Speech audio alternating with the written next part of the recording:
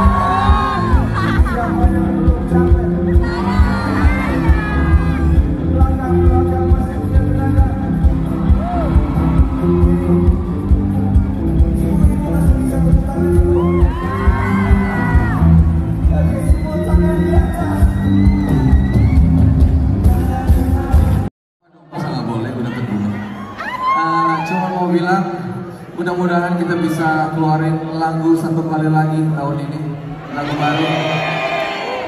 Uh, saya nggak tahu kapan kita balik lagi ke Surabaya soalnya ini udah ketiga kali. Gue takutnya balik lagi pada bosan semuanya. Mudah-mudahan pas ada lagu baru kita balik lagi ya. Di sini dulu temenin si Konser bertajuk The Great Journey of Noah sukses menghipnotis warga kota Surabaya, Sabtu tanggal 13 Mei tahun 2023 di salah satu hotel mewah Surabaya tadi malam.